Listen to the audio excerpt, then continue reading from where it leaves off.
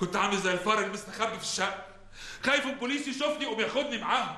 أول مرة أحس إني جبان ونادل ومش راجل. هدي نفسك يا محروس يا ابني. وأنت كان في إيدك إيه تعمله وما عملتوش؟ آه يا عم عبده لو كنت شفت جابر والبوليس ماسكه كانهم شنقوه فعلا. كان هاين عليا أرمي نفسي قدام عربيات البوليس لكن ما قدرتش. ما قدرتش. كفاية يا محروس يا ابني. كفاية. والحمد لله اللي ما شافوكش انت كمان. واديني رجعت بالسلامة اهو. عمال اعيط واولول زي الحريم. ياه للدرجة دي بتحب صاحبك؟ انت هنا يا بنتي. إحنا فاكرينك لسه ما رجعتيش. رجعت من بدري يا جدي ومن التعب نمت ما حسيتش. ما صحتش غير على الكلام والعياط. بإذن يا عم عبده ادعي ربنا يا محروس ان لما يحققوا معاه ما يجيبش سيرتك ولا يقول ان انت اللي هربته. اطمني مش جابر اللي يعمل كده. تلاقيكي كان نفسك يمسكوني معاه عشان ترتاحي وتخلصي.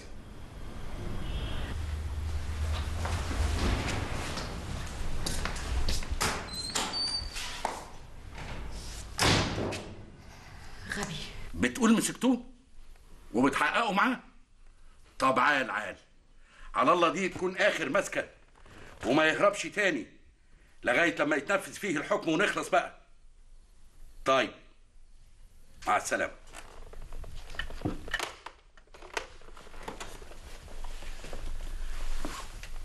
جابر مأمون نصار اتمسك في اسكندرية في فيلا الشاهد الوحيد اللي شاهد ضده.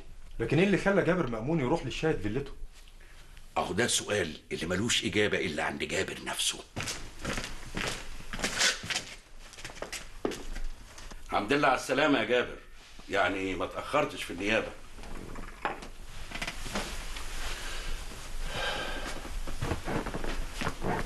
بتهرب من السجن يا جابر. اسمع يا جابر. أنا جاي لك النهارده مخصوص عشان أسمعك. عايز أعرف أنت إيه اللي وداك عند عزمي عشان تهدده وغير أقواله في النقد زي ما هو قال؟ لا أنا كنت عايز يقول الحقيقة. انه حقيقة. جابر أنا جاي لك مخصوص النهارده عشان أسمعك. عشان كده لازم تتكلم ولازم تقول كل اللي عندك. وأنا سامعك. لو كنت أنا اللي قتلت الضابط فعلا. كنت لما أهرب من السجن لازم أبعد على قد ما أقدر. أهرب من حبل المشنقة. بس أنا ما عملتش كده. أنا رحت للراجل اللي شهد ضد زور عشان أبرأ نفسي وأعرف إيه هي الحقيقة. لو عايزين تعرفوا الحقيقة اسألوه هو ليه عمل كده. ليه عايزنا نتشنق في جريمة ما ارتكبتهاش؟ ليه؟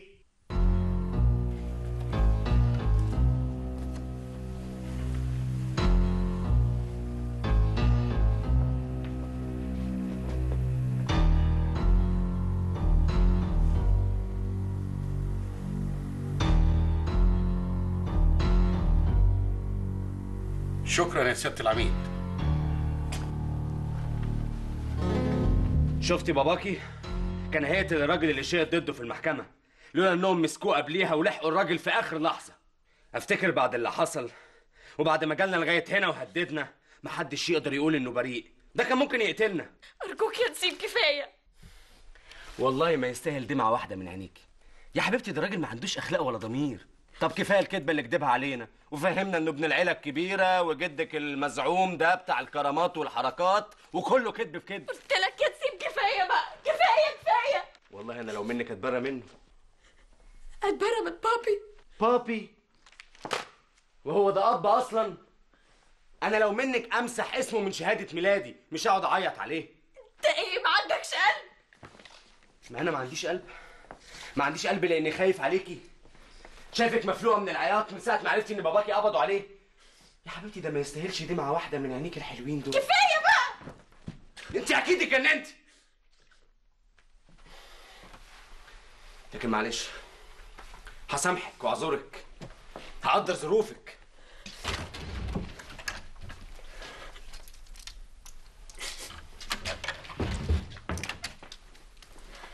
خدي لي كورسين من دولت عشان تفرفشي وتنبسطي كده. أنا مش عايزة آخد الزفت ده. يا علي يا ندى أنت مش هتقدري تستحملي أي حاجة من غير الاقراص دي. قلت لك مش هاخد حاجة. أنت حرة. عموما الاقراص جنبك هنا أهي. وقت ما تحتاجيها هتلاقيها. أنا خارج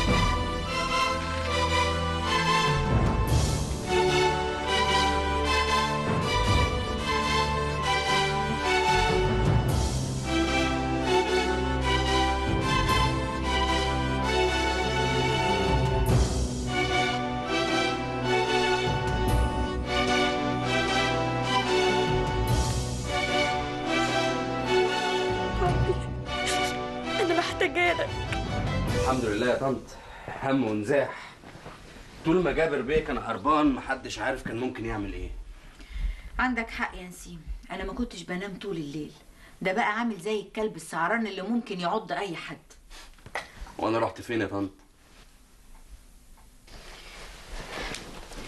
على العموم أنا عايزة أركز في الشغل. كفاية الوقت اللي راح قبل كده. عندك حق يا طنط. المكن الجديد هيوصل الأسبوع الجاي. أنا عايزاك تفضي نفسك للمسألة دي وتبقى موجود في المصنع ليل ونهار عشان تخليهم يجهزوا القواعد اللي هيركب عليها المكن وكل التجهيزات. أوكي. تأمريني بحاجة تانية؟ هي ندى مالها يا نسيم كنت سامعاها الصبح صوتها عالي وعمالة تزعق وأنا ما حبيتش أتدخل. آه هي بس أعصابها تعبانة من ساعة ما قرأت الجرايد النهارده وعرفت إن باباها اتقبض عليه الله يكون في عونها. أنا مش عارفة أعمل إيه ولا حتى أقول لها إيه. والله يا طنط أنا بعمل اللي بقدر عليه. عمال بقى أخلص شغلي عشان أروح لها بدري وأكون جنبها في الظروف الصعبة اللي هي بتمر بيها. عن إذنك.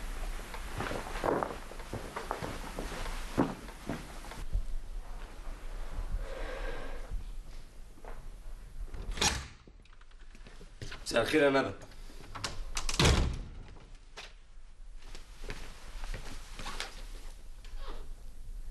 إيه اللي أنت عملتيه ده؟ انت ما خدتيش الاقراص؟ الاقراص دي اقراص إيه يا نسيم؟ مش فاهم. دي مش اقراص مهدئات دي اقراص مخدرات. مخدرات؟ أكيد دي مخدرات. وأنت اللي خلتني أدمنها. ليه يا نسيم؟ ليه؟ الاقراص دي ما على تكدبش عليا. أنا اتصلت بالتليفون اللي بينشروه للمدمنين اللي عايزين يتعالجوا من المخدرات. وقلت لهم على الأعراض وعلى اسم الشريط. وقالوا لي إن دي مخدرات مش مهدئات مش هي دي برضه الحقيقة؟ وطي صوتك. أيوه ندى. دي اقراص مخدرة. ليه يا نسيم؟ ليه؟ الحق عليا؟ الحق عليا أنا شايفك تعبانة ومفيش أي علاج نافع معاكي. فقلت أساعدك بالاقراص دي. تساعدني ولا تدمرني؟ أنا؟ انت إيه اللي أنت بتقوليه ده يا ندى؟ حبيبتي أنا كنت عايز أخرجك من الحالة اللي أنت كنت فيها. يا ندى أنا بحبك. كذاب! كذاب! أنت عمرك ما حبيتني. أنت إيه اللي أنت بتقوليه ده؟ أنا بقول الحقيقة اللي كانت غايبه عني طول المدة اللي فاتت. اللي يحب حد ما يعملش فيه كده. أنت استغلتني. استغلت صغر سني عشان تضحك عليا وتتجوزني. وبعدين تخلص مني وتخليني مش دريانة بأي حاجة. عشان تعمل اللي أنت عايزه. الكلام ده مش صحيح يا ندى هي دي الحقيقة انت إيه شيطان شيطان شيطان على فكرة. أنا حاولت اخليكي تبطلي الحاجات دي وأنت اللي رفضتي. بعد إيه يا ندلي يا جمال؟ غلطانه عشان حبيتك ووثقت فيك لكن بعد النهارده لا ما عادلكش مكان في حياتي. يا شيطان بس بقى يا مجنونة. يا مجنونة! ابعدي عني! ابعدي عني!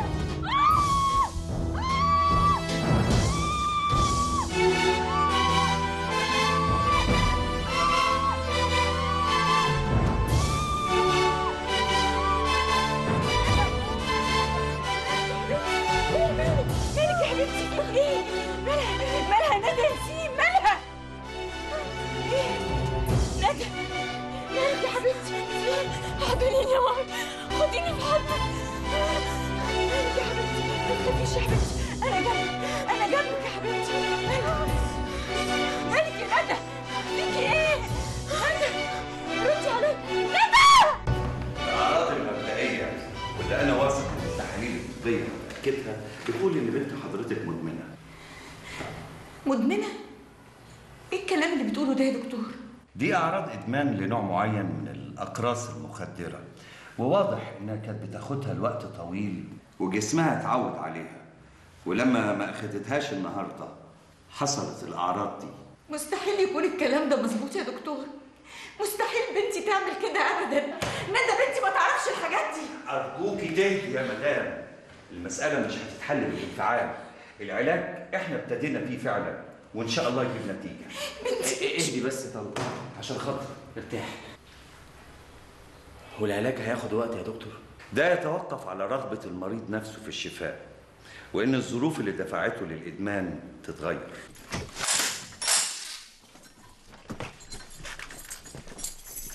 أنت هتفضل صايم عن الأكل يا جابر؟ أنت مش بتقول أنا بريء. خليها على الله. ده قضيه النقد بتاعتك خلاص قربت وإن شاء الله ربنا يغفر براءتك هو لو كان بريء كان إيه اللي خلاه هرب من السجن؟ قوم يا مسجون أنت خالي الباشا المأمور. قوم فز يلا.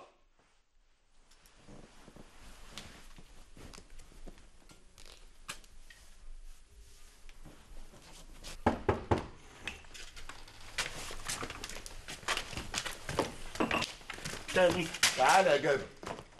تعالى الاستاذه أمل جاية لك مخصوص. علشان عاوزة تعمل معاك حوار وتنزله في الجورنال عندها.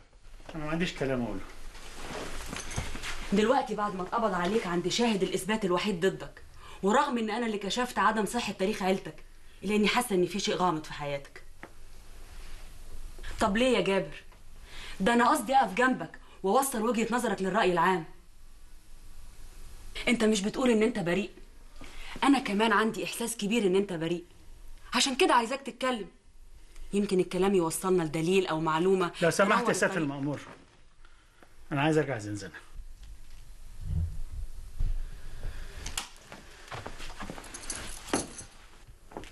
ما تعمليش في نفسك كده يا رباب.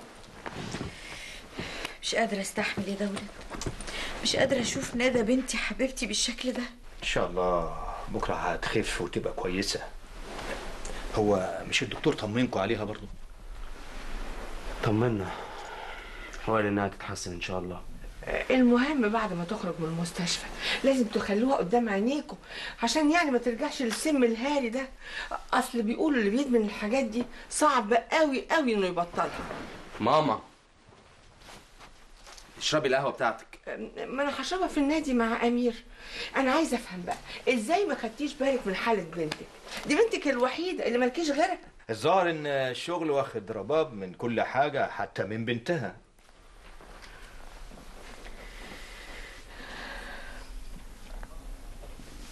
عن إذنكم.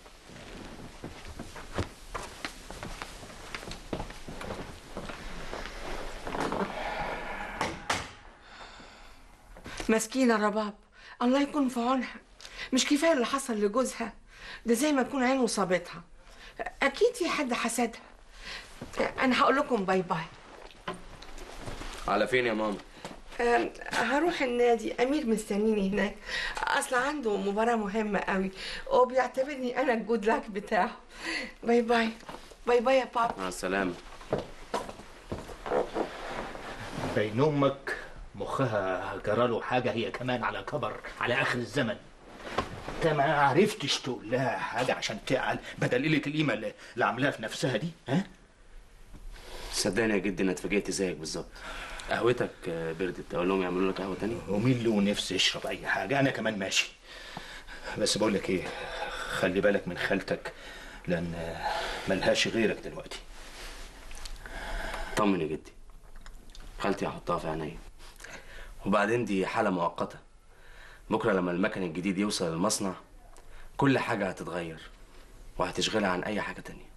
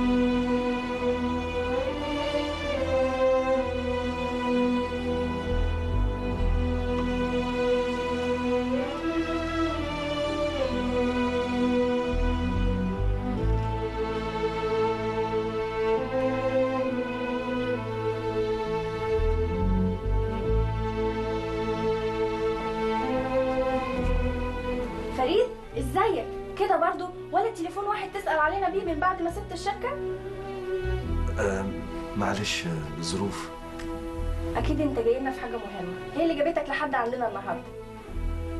أيوه. ديسكات وملفات العملاء مش كده؟ آه أيوه أنا أنا جبتها معايا. صحيح؟ ده إحنا كنا محتاسين من غيرها. مش عارفين المستحقات اللي لينا عند العملاء. تعالى تعالى أنا هدي خبر الأستاذ نسيم.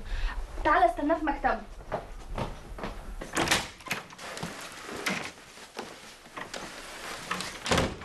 دقيقة واحدة. أدي الأستاذ نسيم خبر. هو في الإدارة المالية بيراجع شوية أوراق. تشرب إيه يا فريد؟ لا ملوش لازمة. هطلب لك قهوة بعد إذنك. اتفضل.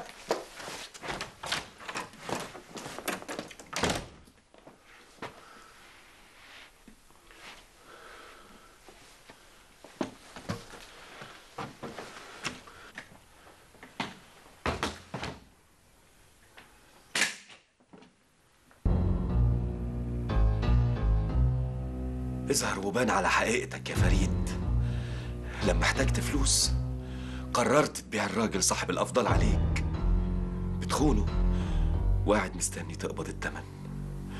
والامانه والنزاهة والإخلاص اللي طول عمرك كنت بتتكلم عنهم كانوا شعارات دوست عليهم برجليك لأن ما عادلهمش تمن.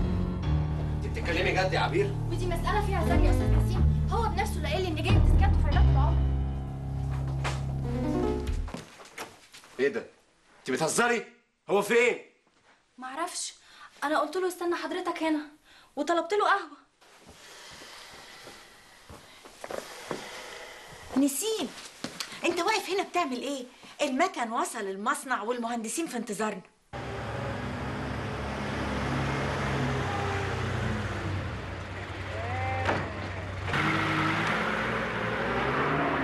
ألف الف مبروك يا مدام. الله يبارك فيك يا نسيم. المهم بقى المهندسين يشدوا حيلهم معانا ويركبوا المكن ويجهزوا خطوط الإنتاج بأسرع وقت ممكن. إن شاء الله يا مدام. أنا عليا قروض للبنوك تقطم الوسط مش عايزين نضيع دقيقة واحدة. ده عداد وشغال عليا. إن شاء الله تركيب المكن وتشغيله مش هياخد معانا وقت بإذن الله. ما تقلقيش. إيه ده؟ في إيه يا باشمهندس؟ مش ده المكن اللي حضرتك تعاقدت عليه؟ إيه؟ أنت بتقول إيه؟ أنا متأكد من كلامي. المكن ده طراز قديم ونزل مصر يمكن من 10 سنين فاتت. ده حتى النهارده المصانع اللي شغالة بيه بتعتبره طراز قديم وبتغيره. إيه ده؟ مش ممكن مستحيل. حضرتك راجع كتالوج المكن اللي تعاقدنا عليه هتلاقيه مختلف تماما. أكيد في غلطة حصلت. إحنا لازم نتصل بالشركة الأمريكية حالا نشوف اللي حصل ده حصل إزاي إزاي؟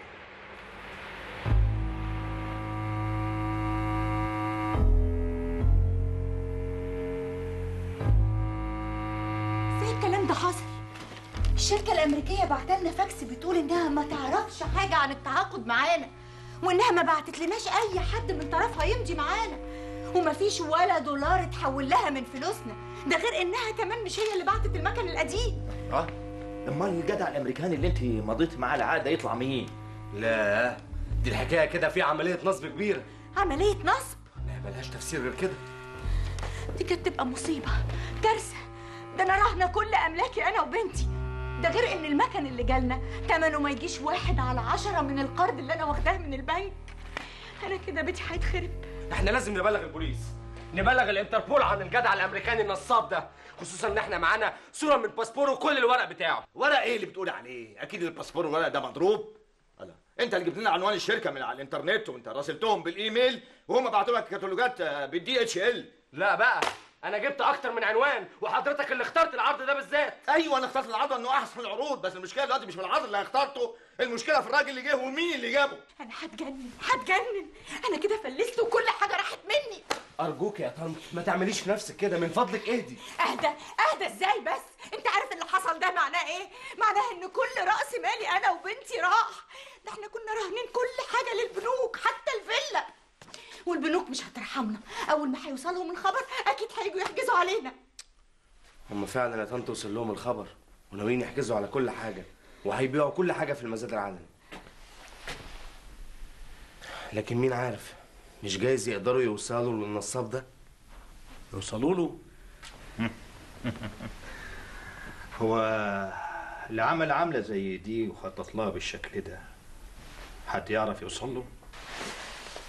أنا كده انتهيت. كل فلوسي راحت مني. حتى ثروة ندى اللي عرفنا نخلصها من ايدين جابر راحت هي كمان. طب إزاي بس؟ إزاي؟ ما تلوميش حد إلا نفسك يا رباب. أنت اللي مسؤولة عن كل اللي حصل. أنت اللي جبتيه لنفسك. أنا يا بابا. أيوه أيوه يا رباب. أنت أنت ما كانش عندك أي خبرة عن البيزنس ولا الشغل؟ وتهيألك إنك فاهمة وعارفة كل حاجة وأدي النتيجة. ضيعتي كل حاجة.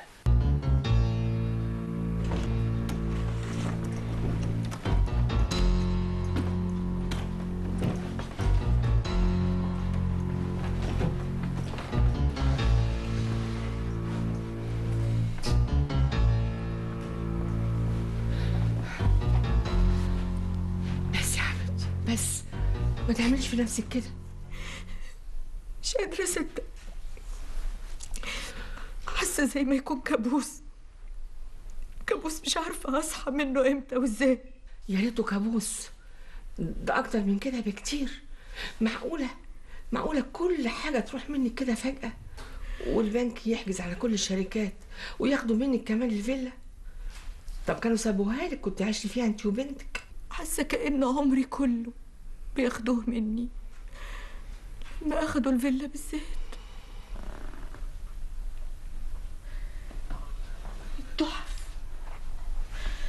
التحف دي كلها أنا اللي جبتها من المزادات. جبتها من فيلل وقصور بيبيعوا اللي فيها وعمري ما كنت أتخيل في لحظة وفي يوم من الأيام إنه هيجي عليا الدور. تحف بيتي أنا كمان تتباع. وبين يوم وليلة ما يبقاليش بيت أسكن فيه. وبعدين يا رباب وبعدين يا حبيبتي. مش معقولة كده ابدا. بقول لك إيه يا حبيبتي ما تعمليش في نفسك كده. لازم تعرفي إن بيتي هو بيتك ومفتوح لك على طول. ولو إنه يعني مش قد المقام. كتر خيرك يا دولة. في حاجة تانية هننقلها للعربية يا هانم؟ اسطوانات ندى وشرايطها. حسن دول عزاز عليها قوي.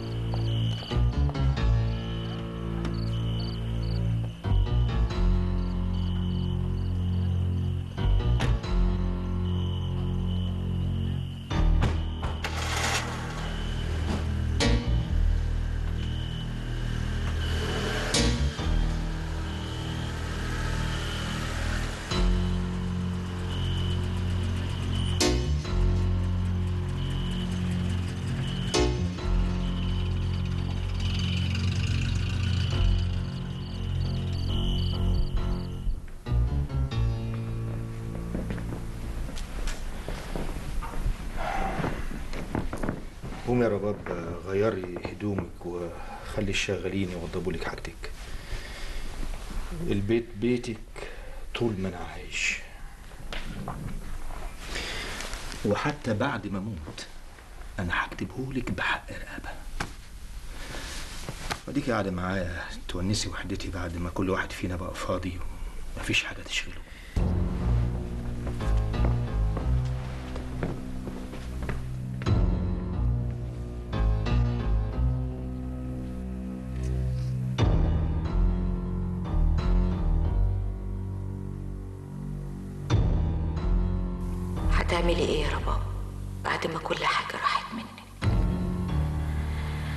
ورجعتي بيت باباكي زي ما خرجتي منه من عشرين سنة. من يوم من يوم ما اتجوزتي جابر. رجعتي زي ما خرجتي. بشنطة هدومك بس.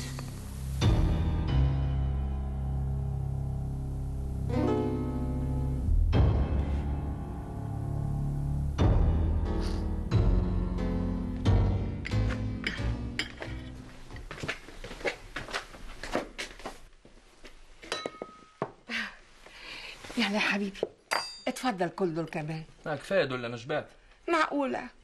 ده إحنا لسه بنقول يا هادي. أنا عاملة لك بقى طاجن عكاوي بجوز الطيب في الفرن.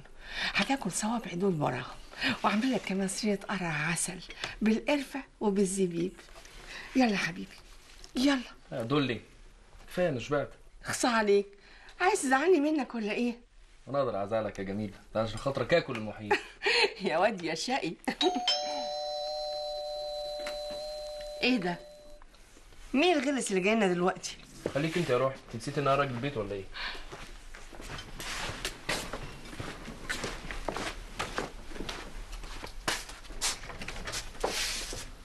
مساء الخير. أهلا.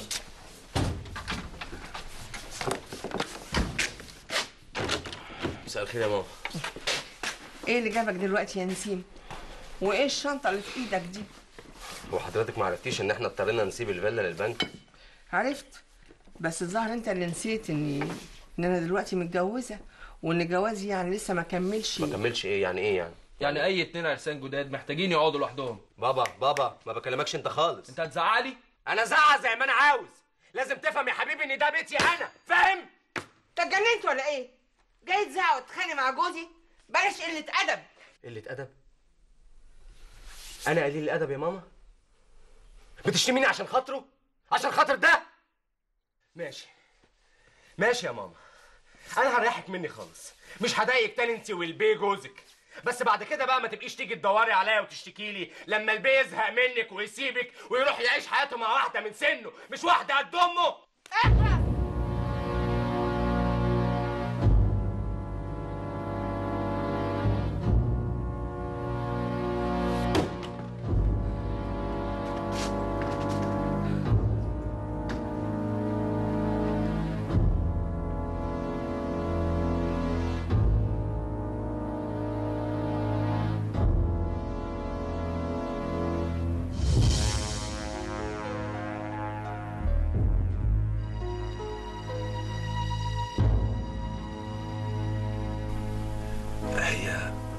استقرت تقريبا.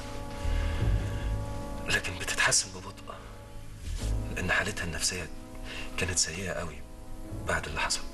ندى ادمنت ودخلت المصحة. إحنا كلنا اتفاجئنا باللي حصل.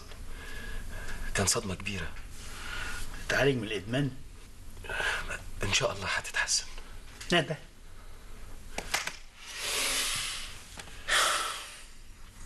أنا مش عارف إذا كان صح ولا غلط إني قلت لحضرتك لكن أنا ما قدرتش أخبي عنك أي حاجة.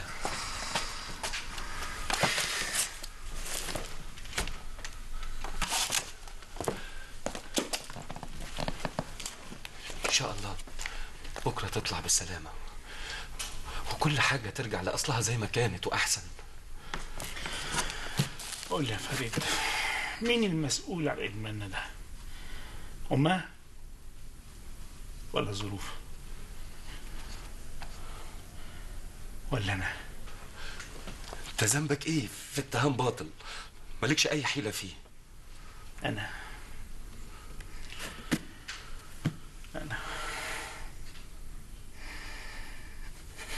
أنا. آه لو تشوفوا هو عامل زي الفار في المصيادة لما رجالتي مسكوه. لا أنا ما وسخش إيديا بدمه. ده واحد محكوم عليه بالإعدام وكمان هربان. فالأحسن طبعا إن أنا كنت أسلمه للبوليس والحكومة بقى هي اللي تخلص عليه بمعرفتها هيقول إيه يعني؟ يقول زي ما يقول أنا راجل سمعتي زي البرلند آه طبعا طبعا. عامل حسابك في اللوت الجديد اللي وصل. ونصيبك هيكون عندك على آخر الأسبوع وفوقيه بوسة. لا اسمع. انت تعمل حسابك انك تتقل جيبك عشان الفوزيتا بتاعت الدكتور زادت شوية. طيب مع السلامة.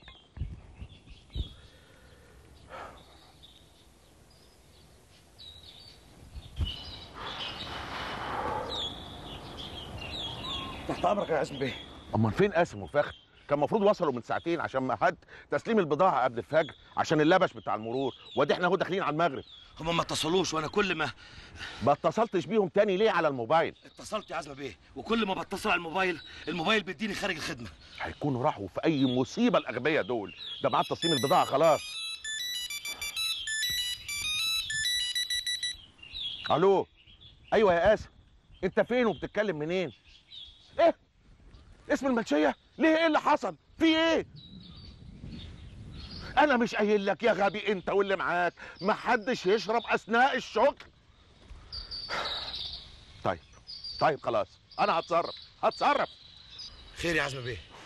قاسم وفخري مسكتهم لجنة مرور لقيتهم سكرانين شربانين عملت لهم محضر سكر وهيبيتوهم عشان يطردوا على النيابة بكرة الصبح. يبقى لازم أروح أتصل بالمحامي عشان يتصرف. محامي إيه اللي بتقول عليه دلوقتي؟ إحنا في ميعاد تسليم البضاعة اللي قرب خلاص. أروح اسلمها أنا يا عزمي بيه؟ ما ينفعش دي بضاعة ب 10 مليون جنيه. جاتكم البلا اغبياء كلكم. بقول لك إيه؟ صح الزفت اللي اسمه حنفي فوقه ولا اسمع بلاش. أنا اللي هسوق بنفسي لغاية مصر عشان يدوب نلحق الميعاد. خليهم يجهزوا العربية قبل ما اغير هدومي. تحت امرك يا عزمي بيه.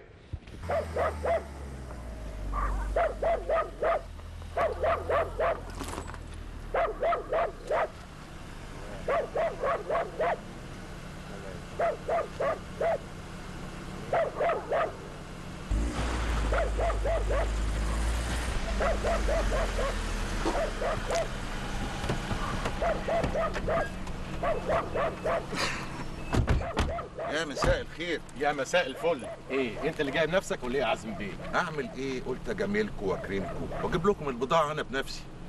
ها فلوسكم جاهزة؟ جاهزة يا عزمي بيه. وإحنا كمان بضاعتنا جاهزة.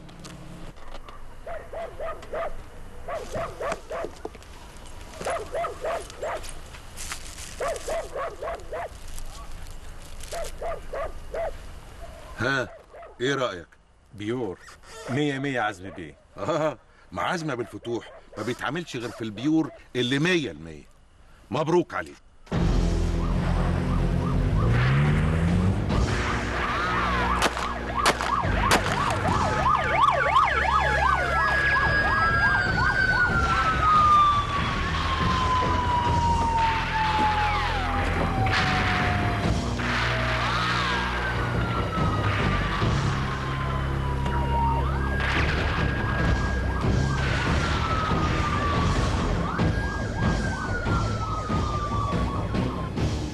أخيرا يا عزمي. ودلوقتي هنوصل مشوار صغير عشان نكمل التفتيش يا عزمي. هاتوهم.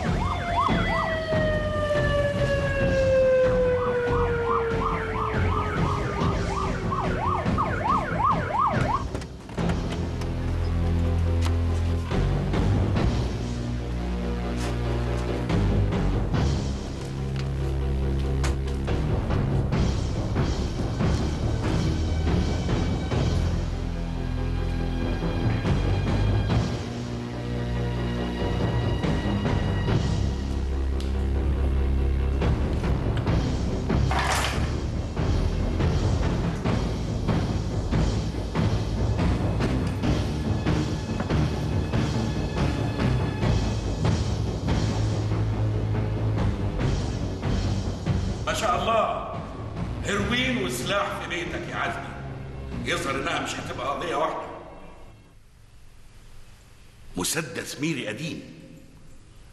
وباين عليه ما حدش استخدمه بقاله مدة طويلة. من عشرين سنة يا عزمي مش كده ولا أنا غلطان؟ السكوت والإنكار مش هيفيدك بحاجة يا عزمي.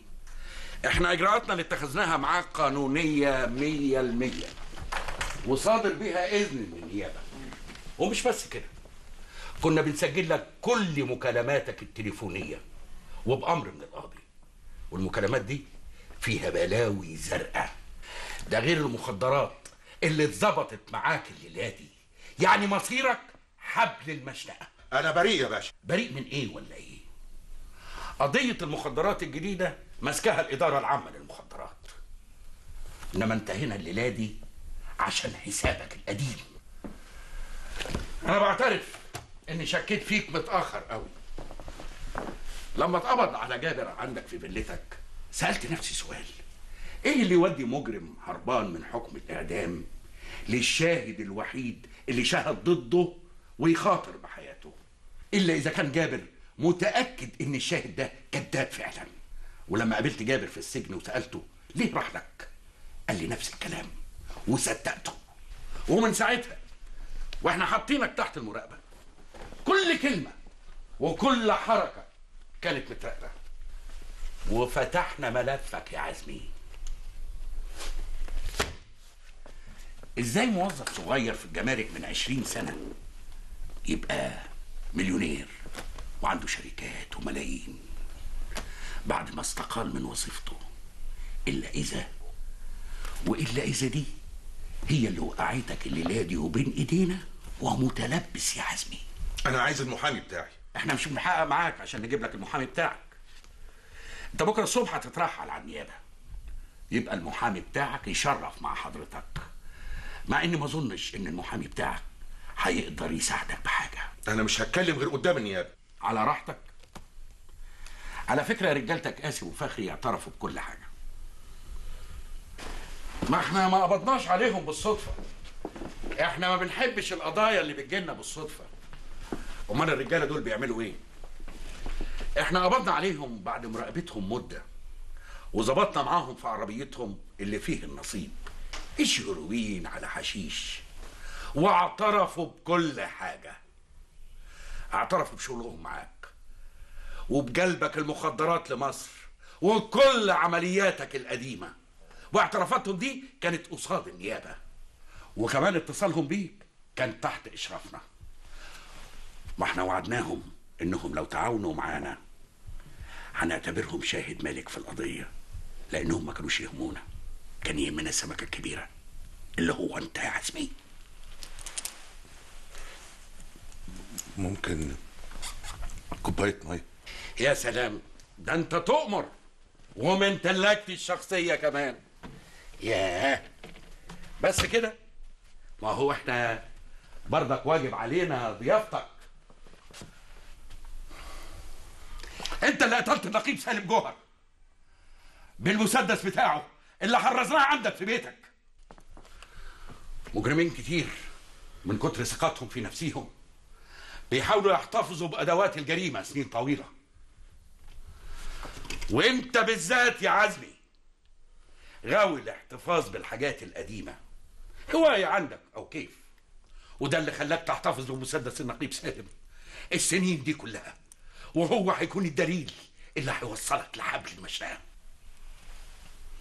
سنين طويلة وانت متداري عن عينينا.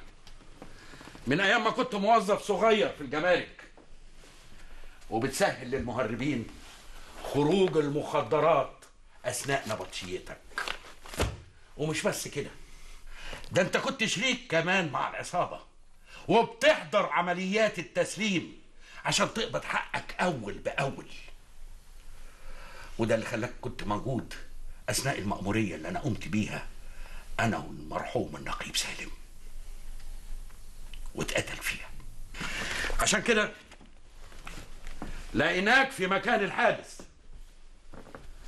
ولما سألناك اتهمت جابر مأمون نصار إن هو اللي قتل النقيب سالم. مع إن جابر كان يدوب شريك في عملية التهريب وهرب ساعتها. بس مش هو اللي قتل النقيب سالم. انت اللي قتلت النقيب سالم جوهر يا عزمي. بقى مية. لو سمحت اعترف.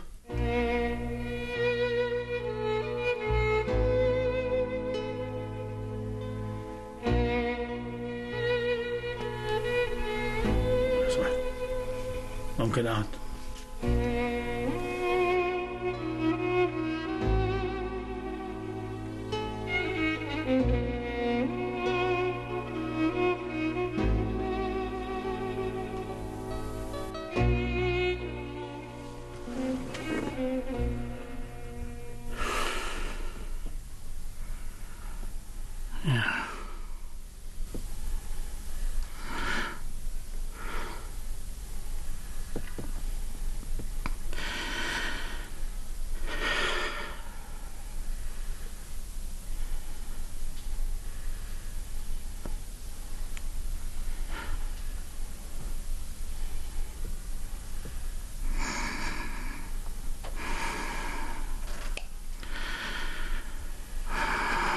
اعترف.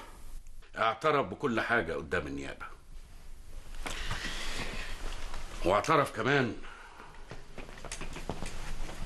إن هو اللي قتل النقيب سالم الله يرحمه.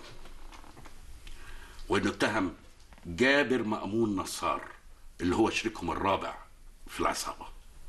واتفق مع الشريكين التانيين اللي انقبض عليهم إنهم ما يجيبوش سيرته في التحقيق في مقابل مبالغ نقدية هيدفعها لهم.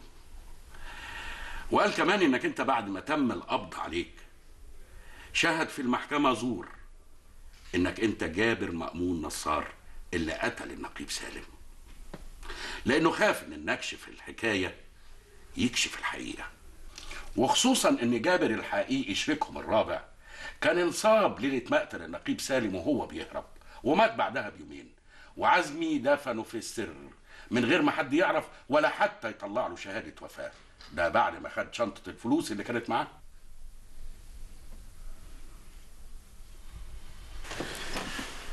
سوء الحظ. تشابه الأسماء. الشهادة الزور بتاعت عزمي. هم اللي جروا رجلك في القضية. إنما إن شاء الله في الجلسة الجاية النيابة هتقدم كل التحقيقات للمحكمة ومن المؤكد هيتحكم لك بالبراءة.